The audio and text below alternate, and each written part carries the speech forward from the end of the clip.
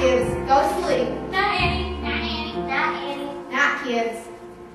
Set up scene three, Minneapolis Fairgrounds.